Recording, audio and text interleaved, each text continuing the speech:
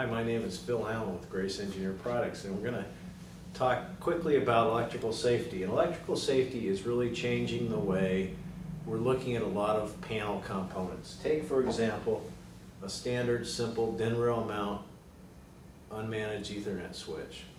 When you have two devices in a panel that are communicating through Ethernet, it's simply, you need an unmanaged Ethernet switch to be able to communicate to other devices within that panel. In addition, being able to have a programming port accessing the panel is also required. So therefore, Grace Engineered Products has put an unmanaged Ethernet switch in a Graceport. Here you have the programming port on the outside of the panel, and you have four ports on the inside of the panel on a 24 volt um, power supply. It also has all the, all the LEDs from the rear brought back up to the front, and it has a power reset button so you can reset your switch.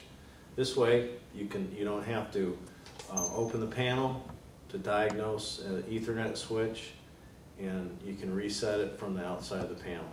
And also, instead of having this device and a GFCI mounted inside your panel, you save panel space. Thank you very much, and this is the new Graceport E5 Ethernet switch.